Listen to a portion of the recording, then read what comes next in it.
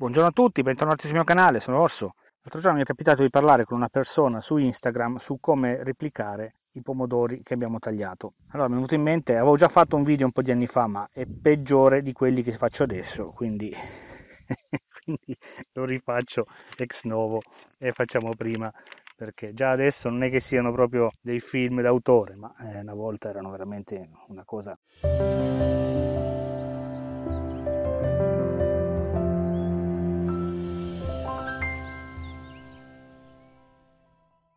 Allora, questa l'ho appena tagliata da un'altra piantina, pochi minuti, hanno pochissimi minuti di autonomia, poi si afflosciano e praticamente se non li si mettono subito in acqua muoiono. Adesso dopo vi farò vedere come taglio da quella, ma nel frattempo vi faccio vedere questa qui che ho appena tagliato, mi dispiace buttarla via, è molto bella. Questo è un getto ascellare, era cresciuto un po' troppo, semplicemente lo pulisco, posso anche lasciare così, e vanno messe subito in acqua. Faccio vedere l'operazione che precede questa, ecco qua. Questo è un getto ascellare molto grosso al pari di quell'altro. Mi aiuto con un taglierino o un coltello affilato ma soprattutto disinfettato eccolo qui.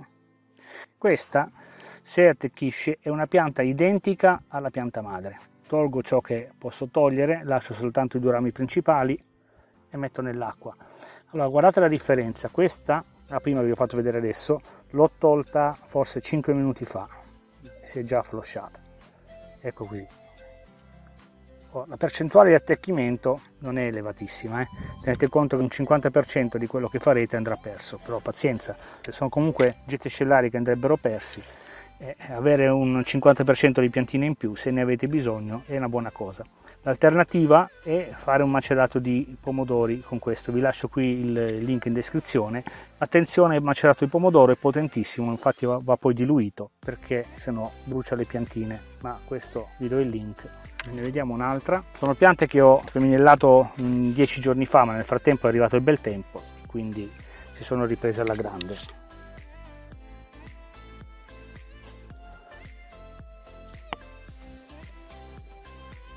sto facendo vedere la tecnica quella più semplice quella di metterle a bagno. Per esperimento una decina di giorni fa quando le ho pulite cosa ho fatto? Avevo un vasetto pieno di terra inzuppata di acqua dopo ve lo farò vedere e le ho infilate semplicemente tutte là dentro. Ogni giorno inzuppavo di nuovo il, il terreno di questo vasetto. Si sono riprese quasi tutte però è la prima volta che lo provo quindi non, non, volevo farvelo vedere in mancanza di risultati buoni, i risultati li ho avuti, però eh, bisogna starci dietro, quindi questo è un metodo un pochino più semplice. Quindi è un'operazione che porta via una settimana, 10 giorni circa. Tolgo le parti laterali per dare più forza alla pianta. Queste piccole così invece non mi servono a niente, le possiamo buttare. Anche quelle così difficilmente attecchiranno. Qui abbiamo una pianta gemella nata dal tronco. A volte capita che il tronco emetta due getti, tutti e due belli vigorosi, non è un getto ascellare. Si sviluppano entrambi nello stesso modo, ma ovviamente non hanno la forza che ne avrebbe uno solo. Quindi lo tolgo, questo l'ho tolto un po' in ritardo. Ciò non toglie che lo tratto esattamente come un getto ascellare. Lo pulisco da tutto. Ecco. Questo lo posso lasciare così e lo metto a bagno. E già che ci sono ne approfitto per legarla.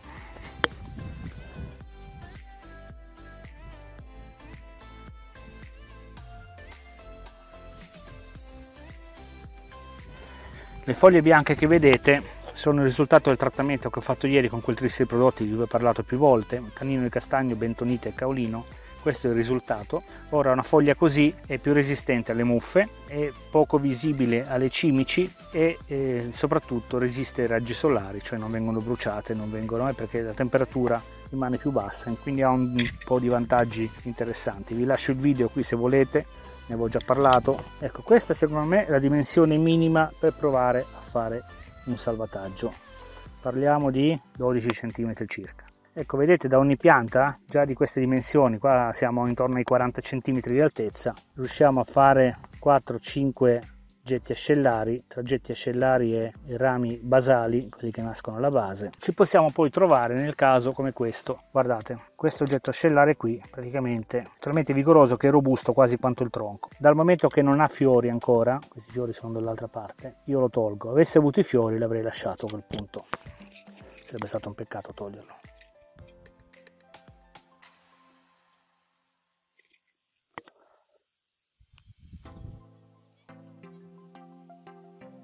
Oh, qui abbiamo il primo pomodoro, non l'avevo visto, guardate. Anzi, i primi due.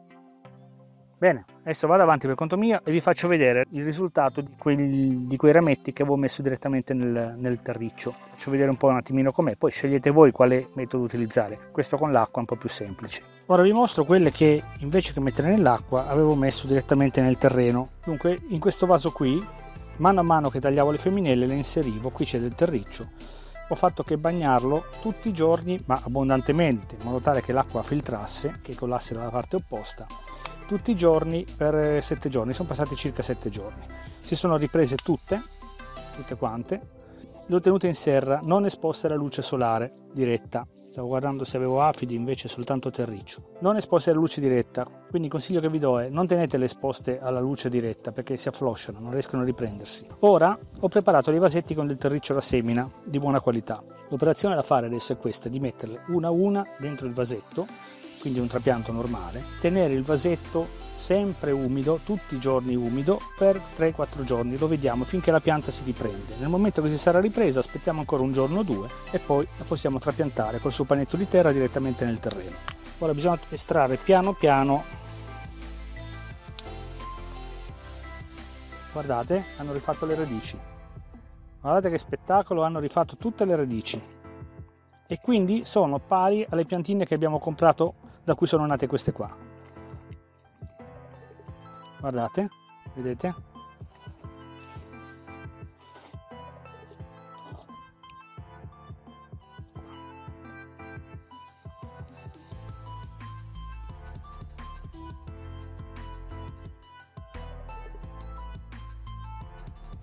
Eventuali rametti che toccano il terreno li togliamo non va bene.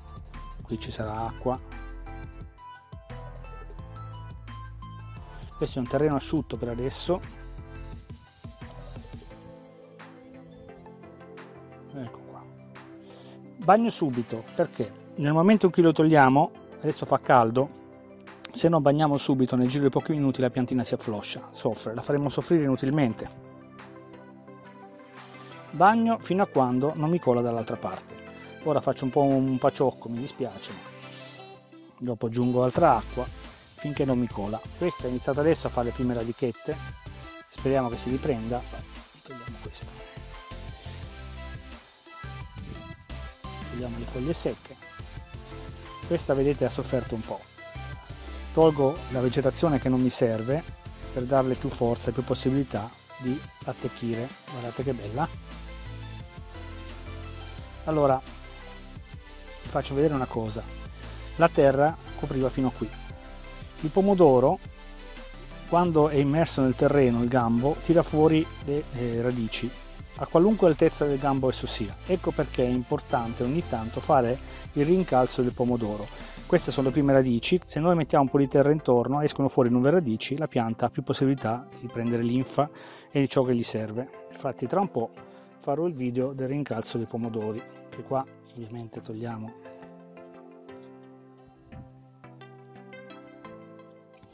Non li metto direttamente nel terreno, anche se potrei perché hanno un po' di radici, perché in vaso è più semplice controllare il loro stato di crescita e vedere se soffrono, se hanno bisogno di acqua.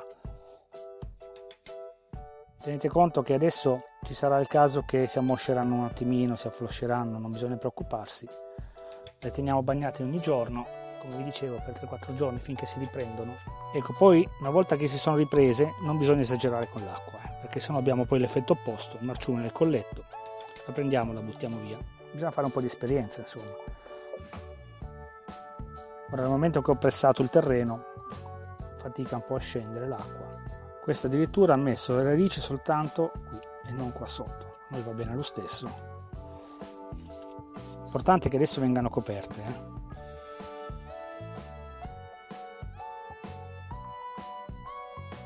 Faccio ancora una. Ecco guarda questa già col suo panetto di terra.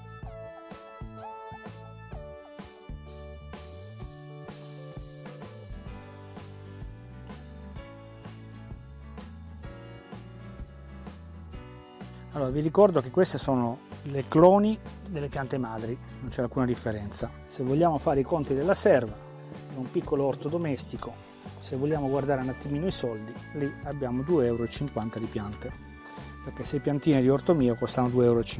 Se voi fate il conto di quante ne abbiamo salvate, ecco che alla fine de- della fiera magari non è difficile tirare su 20 euro di piante. Sembrano pochi, però buttarle via onestamente, a meno che non ci dobbiate fare il macerato di pomodoro, a me tirarle via è un peccato, insomma. Sono belle. Adesso vediamo tra un po' come sono messe quelle invece che avevo messo in acqua.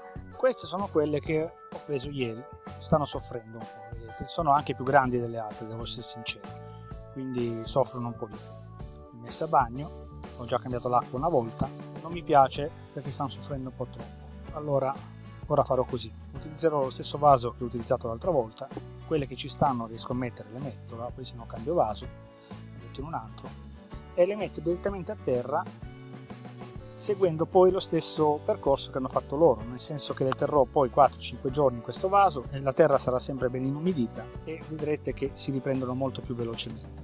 Purtroppo erano un po' più avanti queste qui, come vedete qualcuna addirittura c'è i fiori, sono arrivato tardi a potarle, quindi mi tengo così. Vi ricordo che c'è un tasso di, di fallimento intorno al 50%, almeno quello che ho visto io. Eh.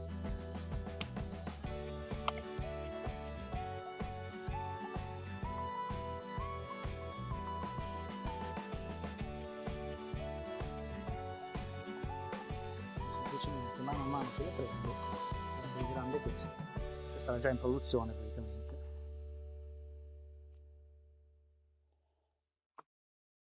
I fiori li posso anche togliere tanto non è che me li devi portare avanti.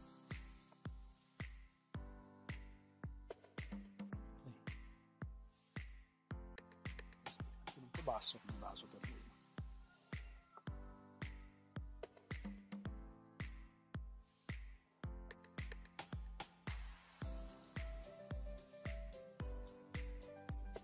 di mettere più in fondo possibile così metto più terra. E come avete visto poi si attecchiscono dal gambo nascono poi le radichette quindi si riprendono un pochino più velocemente. Queste tra l'altro le avevo già trattate con quel tris di prodotti bentonite, caolino e tannino di castagno. Le vedete bianche per quel motivo lì. Benissimo. Acqua come se piovesse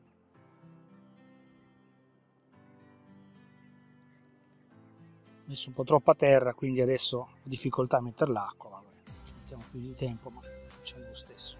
Vedete l'acqua scorre giù quindi va bene così. Dicevo brutta da vedere però salviamo qualche piantina.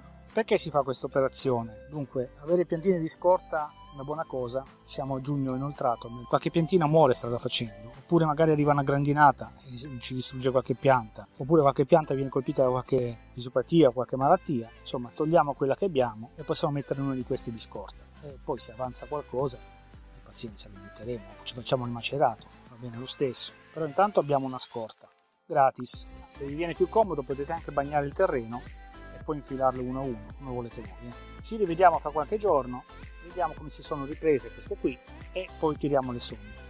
I più attenti avranno notato che questo non è un pomodoro, chi siamo noi per togliere la vita?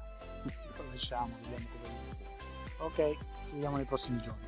Sono passati quattro giorni da quando ho messo i pomodori qua direttamente dentro la terra, gli ultimi che avevo preso, gli ultimi, gli ultimi getti ascellari, le ultime femminelle guardate si sono riprese quasi tutte. Sono ancora un po' moge perché eh, oggi non le ho bagnate. La terra è asciutta. Le ho bagnate ieri però sono già quasi pronte per il trapianto. E queste sono quelle che vi ho fatto vedere l'altro giorno. Guardate che belle si sono riprese tutte. Guardate sono pronte per essere trapiantate così con il loro panetto di terra tutto insieme. Sembrano appena acquistate. Farò la stessa cosa con queste. Ora il consiglio che vi do è di trapiantarle una per una nei vasetti attendere 2-3 giorni aspettare che arrivino a queste condizioni qui, ovvero belle, sane e senza stress da trapianto e a quel punto si possono trapiantare nel terreno. Quindi ricapitolando, l'operazione è semplice, si tagliano le femminelle, si mettono in acqua un paio di giorni, anche se eh, tendono ad afflosciarsi non vi preoccupate, non tutte attaccheranno, ve lo dico subito, dopo un paio di giorni si trapiantano nel vaso così. Fatta questa operazione si attende che si riprendano una settimana circa, 4-5 giorni, dipende un po' dal vigore della pianta, si bagnano tutti i giorni ma con acqua abbondante, deve colare dalla parte opposta, dopodiché una a una si trapianta nel vasetto.